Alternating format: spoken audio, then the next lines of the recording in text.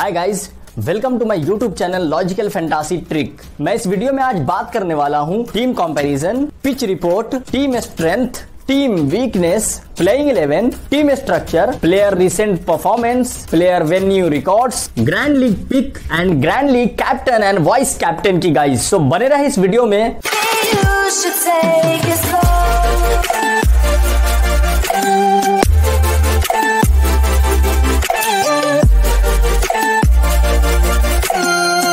IPL 2022 का next match यानी ninth match guys वो मुंबई इंडियंस और राजस्थान रॉयल्स के बीच में होने वाला है।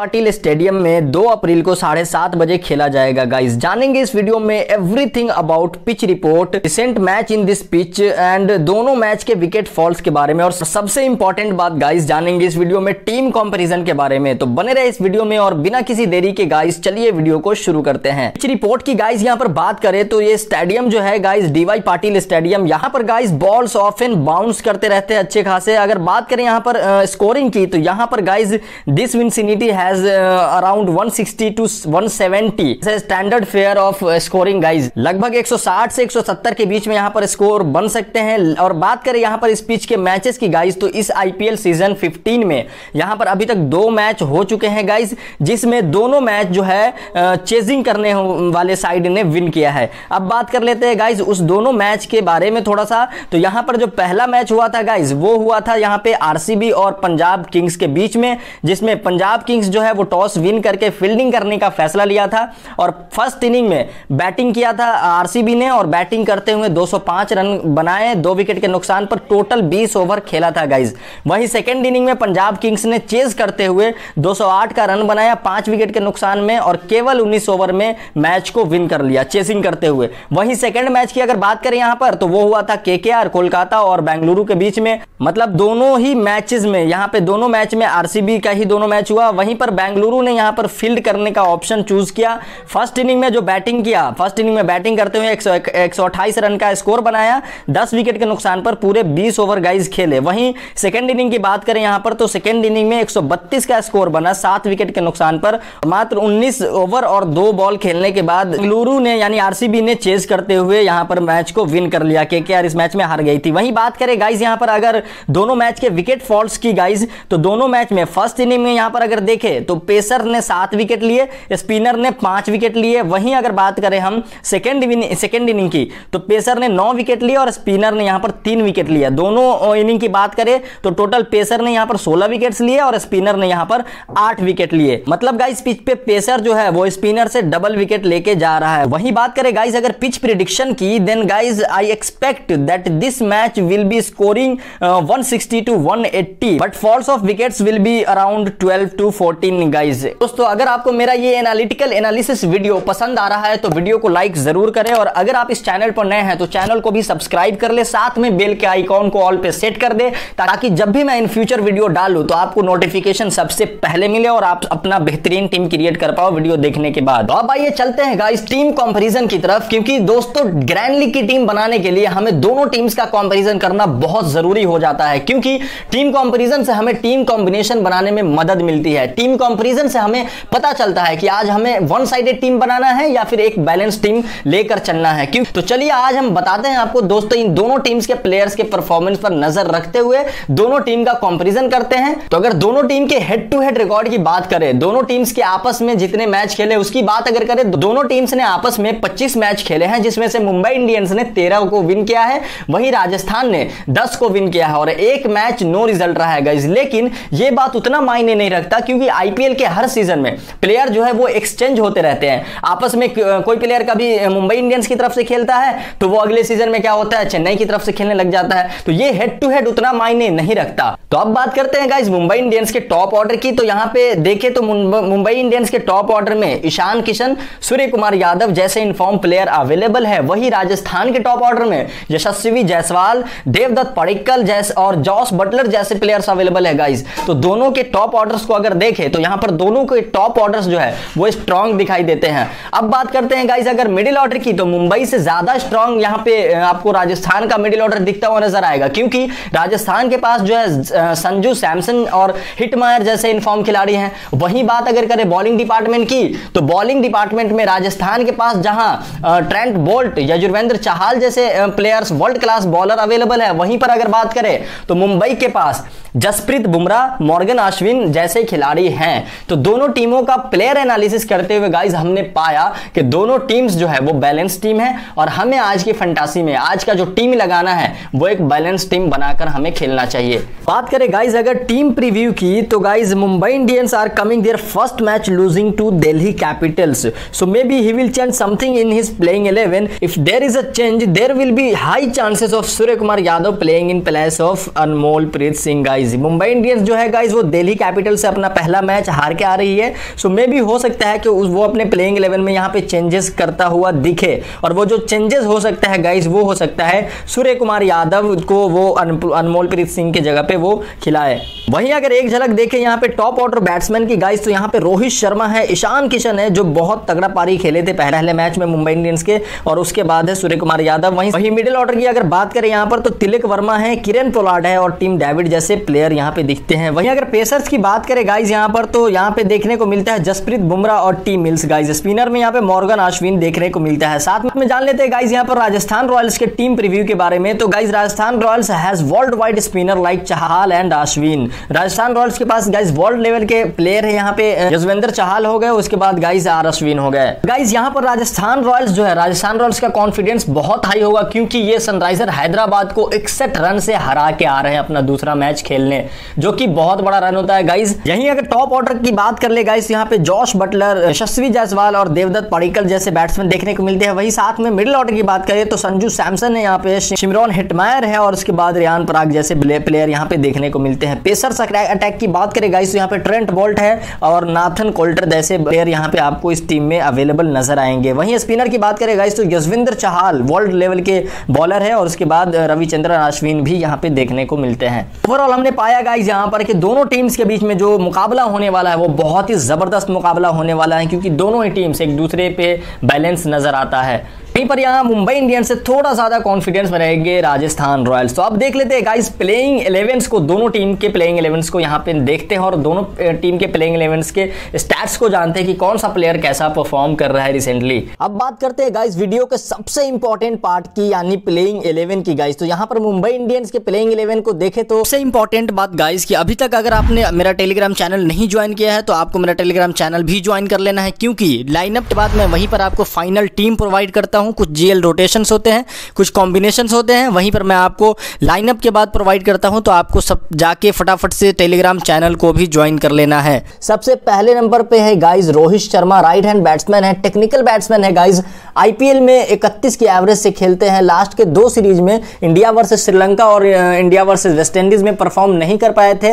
लेकिन अपने पहले ही मैच में इकतालीस रन बना के यहाँ पर उन्होंने पैंसठ पॉइंट्स दिए थे और ड्रीम टीम के मेंबर भी रहे गाइज़ अभी तक इसके बल्ले से कोई विस्फोट तक पारी नहीं दिखा है। हो सकता है कि ये इस मैच में आपको अच्छा पारी खेलता हुआ नज़र आए। बैटिंग सेक्शन में ये कैप्टनसी के सबसे सेफ़ चॉइस हो सकते हैं। अगर सेकेंड इनिंग में बैटिंग आए तो आप अपनी टीम में इसे कैप्टन ज़रूर बनाए, क्योंकि तब इसके परफॉर्म करने के चांसेस हाई होते हैं गाइज़ अब अगले प्लेयर की यहाँ पे बात करें तो यहाँ पे है ईशान किशन गाइज़ इंपैक्ट वाले प्लेयर है। अभी तक अच्छे फॉर्म में है। लास्ट के पाँच मैच में से ये दो बार ड्रीम टीम के मेंबर भी रहे हैं और इस आईपीएल में अपने पहले ही मैच में धमाकेदार पारी खेलकर ड्रीम टीम का कैप्टन भी रहे। इस मैच में लॉजिकली देखा जाए तो इसके चलने के चांसेस लेस देन है गाइज़ जिस टीम में आप रोहित शर्मा को कैप्टन बनाए उसमें इसे ड्रॉप कर दे क्योंकि आप इसे ड्रॉप करते हैं और ये फ्लॉप होता है तो सोचे कि कितने लोग इन्हें कैप्टन बनाए होंगे और, और आप ड्रॉप करते हैं तो ये फ्लॉप होगा तो आपकी रैंकिंग कहाँ होगी गाइज़ अब अगले प्लेयर है यहाँ पे गाइज़ सूर्य कुमार यादव। इनकी बात अगर करें गाइस तो मोस्ट कंसिस्ट प्लेयर है। अपने आईपीएल करियर में इसने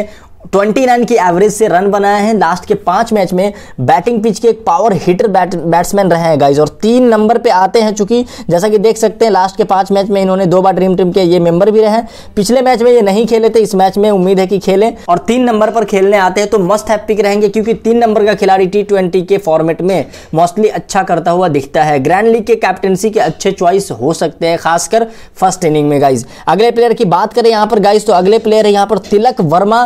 तिलक वर्मा की बात करेगा, इस टैलेंटेड बैट्समैन है लास्ट के पाँच मैच में तीन बार ये ड्रीम टीम का मेंबर रह चुके हैं, जैसा कि आप यहाँ पे देख सकते हैं। जिस टीम में आप मुंबई इंडियन के एक टॉप ऑर्डर को रख रहे हैं, उसमें आप ज़रूर प्रेफर करें, खासकर फ़र्स्ट इनिंग में, क्योंकि तब इसे अपॉर्चुनिटी होगी। और ये ऐसे बल्लेबाज हैं जो अपॉर्चुनिटी का भरपूर फ़ायदा उठाते हैं गाइज़ तो बैटिंग सेक्शन में ये ड्रीम टीम का मेंबर बनता हुआ दिखाई दे सकता है। अब नेक्स्ट प्लेयर की बात करें गाइज़ यहाँ पर तो नेक्स्ट प्लेयर है यहाँ पे Kieron Pollard. Guys right hand batsman है। रिसेंटली अपने पाँच मैचेस में दो बार ड्रीम टीम के मेंबर रह चुके हैं। सेकेंड इनिंग में आप इसे अपनी टीम में प्रेफर करें, क्योंकि कई बार ये मैच विनिंग नॉक खेल जाते हैं। जब टीम को रन की ज़रूरत होती है, तब इसे भेजा जाता है। आप इसे उस टीम में रखें जिस टीम में आप टोरेंट बोल्ट को कैप्टन बना रहे हो। अगले प्लेयर गाइज़ टीम डेविड है, जो कि राइट हैंड बैट्समैन है। बहुत ज़बरदस्त हिटर है। पीएसएल में अच्छा परफॉर्म करके आ रहे हैं। पीएसएल में शुरुआत के कुछ मैचेस में अच्छा नहीं किए, लेकिन दो तीन मैच के बाद अपने फॉर्म में बैक कर लिया था इन्होंने। उस टीम में इसे ज़रूर रखें जिसमें आप मुंबई के बैट्समैन को कैप्टन नहीं बना रहे हो। आप उस टीम में भी इसे प्रेफर कर सकते हैं जिसमें आप राजस्थान के बॉलर को कैप्टन बनाए। रह रह कर यह इंपैक्ट वाला परफॉर्म कर देते हैं। बैटिंग ऑर्डर काफ़ी नीचे है तो आप इसे छोड़ भी सकते हैं। वैसे ही 160 के स्ट्राइक रेट से गाइस खेलते हैं तो जीएल के लिए एक अच्छा पिक साबित हो सकते हैं। अगले प्लेयर है गाइज़ यहाँ पे डैनियल सैम्स जो कि अच्छे प्लेयर है, कुछ बॉल भी खेल जाए तो अच्छा खासा पॉइंट देकर जा सकते हैं। ऑलराउंडर सेक्शन में एक मस्ट है पिक साबित हो सकते हैं, खासकर जब फ़र्स्ट इनिंग में बॉलिंग आए तो क्योंकि तब ये सत्रहवा और नौवा ओवर डालते हुए नज़र आएँगे। उस टीम में इसे ज़रूर आप रखें, जिसमें आप मुंबई के टॉप ऑर्डर को कोलैप्स कर रहे हैं। उसमें इसे कैप्टन भी बना सकते हैं। लास्ट के पाँच मैच में फ्लॉप है तो हाई चांसेस है कि इस मैच में कुछ बड़ा कर जाए। प्लेयर है गाइज़ यहाँ पर बासिल थाम्पी एक्स्ट्रा पेस के लिए फ़ेमस है और अपने कोटे का चार ओवर बॉलिंग भी कराते हैं। यहाँ पे देख सकते हो लास्ट मैच में भी ये बॉलिंग करा के तिरासी पॉइंट दिया था और ड्रीम टीम के मेंबर भी रहे। बॉलिंग सेक्शन में जिस टीम में आप टीम मिल्स को ड्रॉप कर रहे हैं, उसमें आप इसे रख सकते हैं। इसे आप उस टीम में ज़रूर रखें जिसमें आपने राजस्थान के टॉप ऑर्डर को प्रेफर किया है। नेक्स्ट प्लेयर है guys Tymal Mills extra pace generate करते हैं और वेरिएशन इनका अच्छा है। अपने बॉलिंग में वेव का इस्तेमाल करते हैं। जो पेस बहुत अच्छा करते हैं कट्स का भी अच्छा खासा इस्तेमाल करते हैं। लेकिन लास्ट के पाँच मैच में यहाँ पर अगर देखें तो अच्छा परफॉर्म नहीं कर पाए थे। बॉलिंग सेक्शन में जीएल के अच्छे पिक साबित हो सकते हैं गाइज़ अब अगले प्लेयर है गाइज़ यहाँ पर जसप्रीत बुमराह। इस खिलाड़ी को कौन नहीं जानता है? डेथ ओवर स्पेशलिस्ट है रिसेंटली अच्छे फॉर्म में है। लेकिन पिछले मैच में इनकी इनकी बॉलिंग जो है वो पिट गई थी। बड़े खिलाड़ी है तो ये बैक कर सकते हैं इस मैच में, जैसा कि आप देख सकते हो। लास्ट के चार मैच में लास्ट मैच को छोड़ के तीन बार ड्रीम टीम के ये मेंबर रह चुके हैं। आप इसे सेकेंड इनिंग में बॉलिंग आया तो कैप्टेंसी भी दे सकते हैं, क्योंकि फ़र्स्ट इनिंग में रन का प्रेशर नहीं होता है तो बैट्समैन अच्छे बॉलर को आराम से खेल जाते हैं। लेकिन सेकेंड इनिंग में अगर इसकी टीम इसका टीम अच्छा रन बना लेती है तो प्रेशर वाले सिचुएशन में इसके विकेट लेने के चांसेस बढ़ जाते हैं। जिस टीम में आप मुंबई के टॉप ऑर्डर को कैप्टन बना रहे हैं, उस टीम में आप इसे ज़रूर अपना वॉइस कैप्टन बनाए। अगले प्लेयर है गाइज़ यहाँ पर M Ashwin Morgan Ashwin guys जो कि देख सकते हैं यहाँ पे अपने आईपीएल करियर के 35 मैच में ये 28 विकेट ले चुके हैं। उतने विकेट टेकर बॉलर तो नहीं है, लेकिन रिसेंटली इन्फॉर्म है और पाँच मैच में चार बार ड्रीम टीम के मेंबर भी रह चुके हैं। जैसा कि देख सकते हैं लास्ट मैच में भी 68 पॉइंट देके ये ड्रीम टीम के मेंबर रहे हैं। अगर फ़र्स्ट इनिंग में बॉलिंग आए तो इसे अपने टीम में ज़रूर रख के ये जीएल पिक साबित हो सकते हैं गाइज़ अब गाइज़ मुंबई इंडियंस के पहले मैच का थोड़ा सा बॉलिंग का एनालिसिस यहाँ पे देख ले तो यहाँ पे देखे पहले मैच में कौन कौन सा बॉलर जो है कितना बॉल फेंका है। तो डैनियल सैम्स चार ओवर बॉल फेंके थे 57 रन दिए उसके बाद एक भी विकेट नहीं ले पाए थे। जसप्रीत बुमराह जो है, तीन ओवर और दो बॉल फेंके थे। 43 रन दिए, एक भी विकेट इनको नहीं मिल पाया था। वहीं बासिल थाम्पी जो है, चार ओवर बॉल फेंके 35 रन दिए, इन्हें भी कोई भी विकेट नहीं मिल पाया था। मॉर्गन अश्विन की बात करें तो चार ओवर ये फेंके, दो विकेट ये ले पाए, चौदह ओवर यहाँ पे इन्होंने दिया था। टाइमल मिल्स की बात करें तो वो एक विकेट ले पाए थे, तीन ओवर फेंकने के बाद छब्बीस रन दिया था। मुंबई इंडियंस के ओपनर बॉलर की यहाँ पे बात कर ले तो ओपन बॉलर यहाँ पे डैनियल सैम्स है, जसप्रीत बुमराह है। डेथ ओवर की बात करें तो डेथ ओवर में बॉलिंग यहाँ पे डैनियल सेम्स और टाइमल मिल्स यहाँ पे कर सकते हैं गाइज़ अब बात कर लेते हैं गाइज़ राजस्थान रॉयल्स के प्लेइंग 11 की। तो यहाँ पे सबसे पहले प्लेयर जो नज़र आते हैं गाइज़ वो जॉश बटलर है। राइट हैंड बैट्समैन है। अपने आईपीएल करियर के 65 मैच में उन्नीस रन बना चुके हैं और लास्ट के पाँच मैच में चार बार ड्रीम टीम के हिस्सा भी रहे हैं। बैटिंग पिच का एक धमाकेदार खिलाड़ी है? अच्छी बात यह है कि ये इनफॉर्म प्लेयर भी है। मोस्टली ऐसे विकेट पर अच्छा परफॉर्म करते हैं। सो की प्लेयर हो सकते हैं गाइज़ अगले प्लेयर की बात करें यहाँ पे गाइज़ तो यशस्वी जायसवाल है। लेफ़्ट हैंडर बैट्समैन है। आईपीएल के तेरह मैच में अपने दो सौ नवासी रन इन्होंने दिया है। लास्ट मैच में ये ड्रीम टीम के मेंबर भी रहे हैं। लास्ट मैच में ये ड्रीम टीम के मेंबर भी रहे हैं, लेकिन उससे पहले चार मैच में ये परफॉर्म अच्छा नहीं कर पाए थे। इंपैक्ट वाले प्लेयर हैं, लेकिन अभी हाल में ये फॉर्म में नहीं है, जैसा कि मैंने अभी आपको बताया, मगर ओपनिंग आएँगे तो अपॉर्चुनिटी होगी।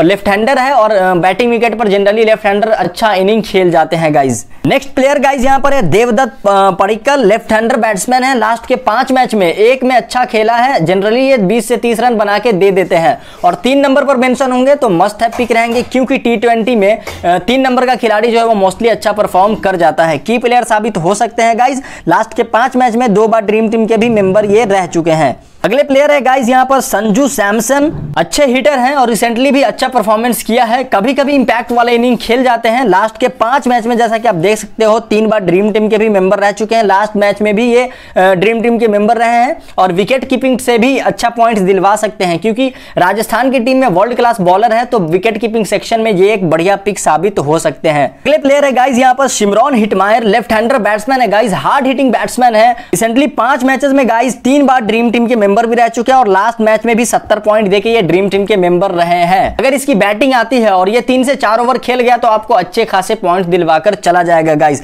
अगले प्लेयर की बात करें यहाँ पे गाइज़ तो रियान पराग है। अपने आईपीएल करियर के तीस मैच में यहाँ पे तीन रन इन्होंने दिया है। कुछ अच्छे फॉर्म में नहीं है, लेकिन लास्ट मैच में जो है ड्रीम टीम के मेंबर भी रहे हैं। एक एवरेज प्लेयर है। अगर आपको इस टीम में चार ही मेन बॉलर दिखे तो आप इसे अपनी टीम में रख सकते हैं, क्योंकि तब ये एक दो ओवर की बॉलिंग भी कर सकते हैं गाइज़ अगले प्लेयर है गाइज़ यहाँ पे नाथन, कोल्टर नाइल अपने आईपीएल करियर के 37 मैच में बिरासी रन और 48 विकेट ले चुके हैं। लास्ट के पाँच मैच का रिकॉर्ड अगर इनका देखें तो एक बार ड्रीम टीम के भी मेंबर रह चुके हैं। अच्छे बॉलर है गाइज़ पिछले मैच में ये परफॉर्म अच्छा नहीं कर पाए थे और आउट ऑफ़ फॉर्म है तो हो सकता है कि इसमें ये अपनी वापसी करे तो ये भी एक बढ़िया पिक हो सकते हैं। अगले प्लेयर है गाइज़ यहाँ पे Ravichandran Ashwin world class spinner है विकेट टेकिंग बॉलर है गाइज़ अपने आईपीएल करियर में एक मैच में चार रन और 145 विकेट ले चुके हैं। लास्ट के पाँच मैच का अगर रिकॉर्ड देखें, चार बार ड्रीम टीम के मेंबर भी रह चुके हैं, भले ही लास्ट मैच में ये ना चले हो, लेकिन अच्छी बात यह है कि इनफॉर्म प्लेयर हैं तो आपके लिए ये मस्ट हैव पिक हो सकते हैं। अगले प्लेयर की बात करें गाइज़ यहाँ पे तो ट्रेंट बोल्ट है गाइज़ अपने आईपीएल करियर के चौवन मैच में तेरह रन और छिहत्तर विकेट ले चुके हैं गाइज़ लास्ट के पाँच मैच का अगर